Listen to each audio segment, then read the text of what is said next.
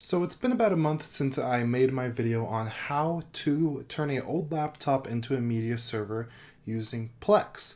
Now, since I made that video, I have gone through a couple different changes on the server, a couple different media server services, and in this video, that is what I'm going to be talking about. This is going to be Plex versus Emby versus Jellyfin, what I chose between the three and why.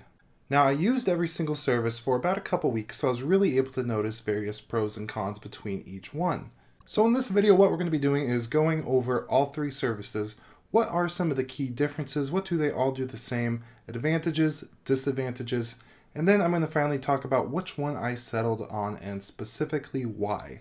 And as I kind of go through this, you're going to start noticing which one I'm eventually going to end up going with. Now, first we have Plex. Now, Plex is by far the most popular media server service that is out there today, and that's for a good reason. One, it simply works, the transcoding in is awesome, and there are a ton of different features. Not only do you get the basics of hosting a media server, but it also integrates a bunch of different on demand content, ad supported movies and TV shows, podcasts. Just there's a whole lot going on in Plex. And then there's Emby. Emby is a direct competitor against Plex. It's partially open source. Both Plex and Emby do have premium features, which we will be getting into in just a second. But Emby doesn't have the kind of the bloat of all the extra on-demand services.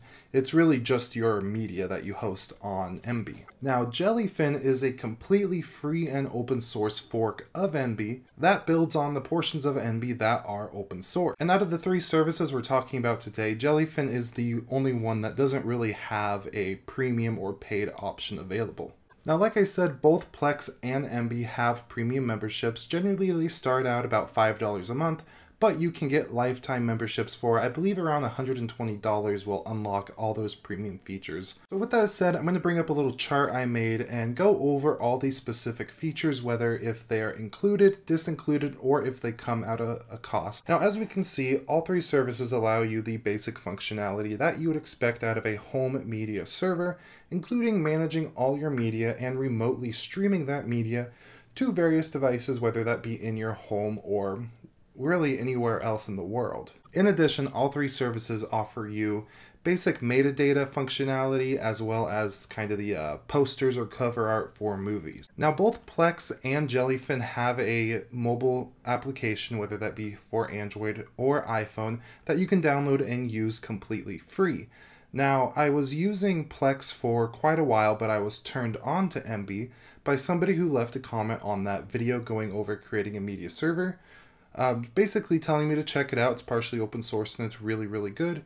Because one of my main complaints with Plex was the fact I didn't want any of those on demand services. I just wanted my media and only my media. So I was really, really happy using Emby. It worked perfectly fine, everything was nice, but I went to go download the mobile app, and this is when I ran into a little bit of a dilemma. The Emby app is not free. It costs you $5 to unlock access to it or your premium membership if you're subscribed to that. Which for me, the use of a mobile application is pretty basic, especially if Plex is offering it up for free.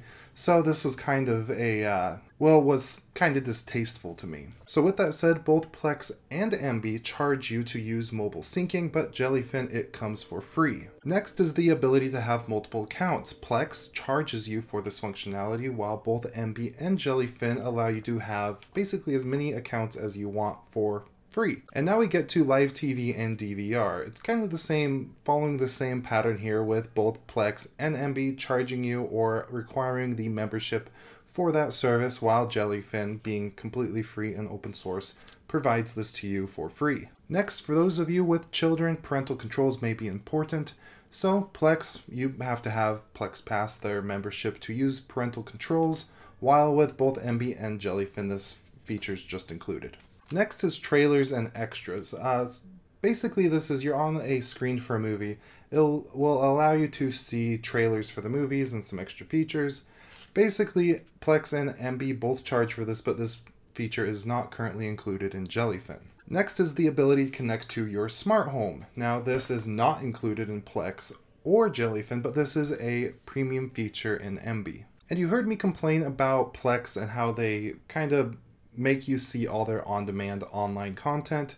Um, for some of you, may you may look at this as a feature. This is free and included with Plex. While both Emby and Jellyfin are kind of limited on this, with uh, Emby you can listen to podcasts natively, and Jellyfin requires additional plugins and add-ons to be able to access online content. And finally, the last feature that I'm going to be mentioning is Cloud Sync. Uh, for example, if you want to sync your content to Dropbox or some other online service like that, this feature currently is not included with Plex or Jellyfin, but this is a feature that's offered to you for free through Emby. So that basically lays out all the features. You know that I ended up switching from Plex to Emby, and the thing that finally made me start looking for something else is when I was on my own personally hosted media server using Emby, I started getting the uh, Emby paid membership kind of ads within my media server.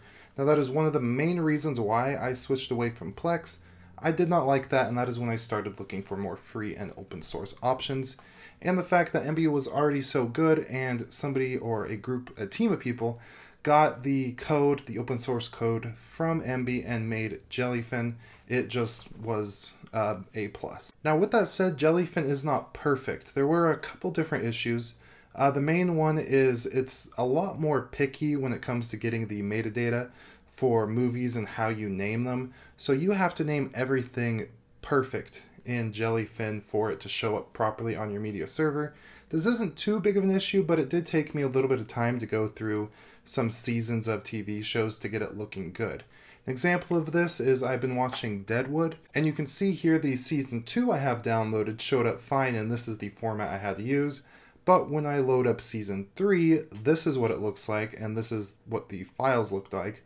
So I, am going to have to go in and manually rename all those files to get it to show up properly in my server. Additionally, another difference, this one's not as big of a deal, but when you log in, for example, I use a Roku TV to stream most of my content and the either Emby or Jellyfin applications natively available through the Roku store.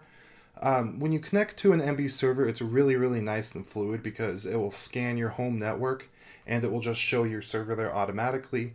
Whereas with Jellyfin, you have to manually put in your IP address, your server username, and all that stuff. It's not that big of a deal, but it is a little plus that it makes it really, really easy for you to log into. So those are my primary cons with Jellyfin. Now, the th reason why I really like it and I'm going to end up staying with it probably very long term is a lot of the premium features on Emby and Plex are just available in Jellyfin, and the features that aren't available in Jellyfin I just don't want anyway. So so with all that said, if you're interested in a video of me going over how to set up install Jellyfin, as well as my current media setup within Jellyfin, let me know. I have it set up really, really good, and there's some uh, tips and tricks that I found it along the way. Uh, for example, pulling YouTube thumbnails if you have YouTube videos in your Jellyfin server, uh, and really good content organization. I've gotten really into that, and I got, got it looking pretty good. So if you're interested in that video, please let me know down below. Other than that, I do hope you enjoyed this video of me going over these three media servers, which one I prefer and why. Just the fact that Jellyfin is free and open source, anybody who is a part of that community or supports the free and open source community should probably go with it. The feature set's there, it doesn't have any bloat, and I really, really enjoy it. So Big thank you to my Patreon subscribers. You guys are awesome. Thank you so much. If you are interested in supporting my content and becoming a subscriber over on Patreon, there'll be a link in the description. If not, that is more than fine. Simply liking this video, going down in the comments below, telling me if you would enjoy another video on Jellyfin, or what media server are you using and why. In addition, subscribing to this channel to get future content just like this. Uh, yeah, have a beautiful day and goodbye.